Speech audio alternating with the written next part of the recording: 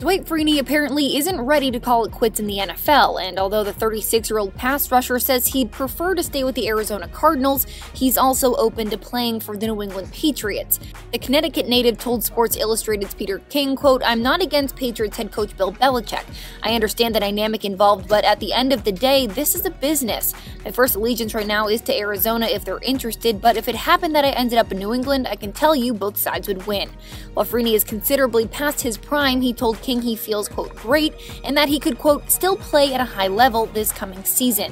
Freeney recorded eight sacks with the Cardinals in 2015 and has amassed 119.5 over his career.